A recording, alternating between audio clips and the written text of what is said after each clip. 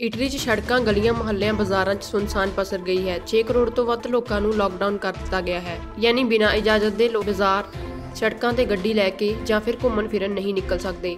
Italy 'ਚ corona virus ਕਾਰਨ ਪਿਛਲੇ 24 ਘੰਟਿਆਂ 'ਚ 168 ਮੌਤਾਂ ਹੋਰ ਹੋ ਚੁੱਕੀਆਂ ਹਨ। ਮੌਤਾਂ ਨਾਲ ਕੁੱਲ ਗਿਣਤੀ 631 ਤੇ ਪਹੁੰਚ ਗਈ ਹੈ ਅਤੇ ਦੇਸ਼ ਭਰ 'ਚ ਇਨਫੈਕਟਿਡ ਮਾਮਲੇ 10000 ਤੋਂ ਵੱਧ ਹੋ ਗਏ ਹਨ। ਕੋਰੋਨਾ ਵਾਇਰਸ ਨੂੰ ਹੋਰ ਲੋਕਾਂ 'ਚ ਫੈਲਣ ਤੋਂ ਰੋਕਣ ਲਈ ਇਟਲੀ ਸਰਕਾਰ ਨੇ ਪੂਰੇ ਦੇਸ਼ ਹੀ ਲਾਕਡਾਊਨ ਕਰ ਦਿੱਤਾ ਹੈ।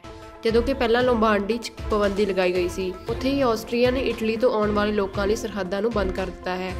ਸਲੋਵੇਨੀਆ ਨੇ ਬਾਅਦ 'ਚ ਐਲਾਨ ਕੀਤਾ ਕਿ ਉਹ ਵੀ ਇਟਲੀ ਨਾਲ ਆਪਣੀ ਸਰਹੱਦ ਬੰਦ ਕਰ ਰਹੀ ਹੈ। ਆਸਟਰੀਆ ਨੇ ਕਿਹਾ ਕਿ ਸਿਰਫ ਉਹਨਾਂ ਨੂੰ ਹੀ ਦਾਖਲ ਹੋਣ ਦਿੱਤਾ ਜਾਵੇਗਾ ਜੋ ਮੈਡੀਕਲ ਸਰਟੀਫਿਕੇਟ ਦਿਖਾਉਣਗੇ ਕਿ ਉਹਨਾਂ ਨੂੰ ਕੋਰੋਨਾ ਵਾਇਰਸ ਨਹੀਂ ਹੈ। ਇਸ ਤੋਂ ਇਲਾਵਾ ਰਿਆਨ ਏਅਰਸ ਨੇ 8 ਅਪ੍ਰੈਲ ਤੱਕ ਇਟਲੀ ਜਾਣ ਤੇ ਆਉਣ ਵਾਲੀਆਂ ਉਡਾਣਾਂ ਨੂੰ ਰੱਦ ਕਰ ਦਿੱਤਾ ਹੈ। ਬ੍ਰਿਟਿਸ਼ ਏਅਰਵੇਜ਼ ਨੇ 4 ਅਪ੍ਰੈਲ ਤੱਕ ਆਪਣੀਆਂ ਸਾਰੀਆਂ ਸੇਵਾਵਾਂ ਨੂੰ ਰੱਦ ਕਰ ਦਿੱਤਾ ਹੈ। ਬਿਊਰੋ ਰਿਪੋਰਟ, ਆਵਾਜ਼ੇ ਕੌਮ ਟੀਵੀ।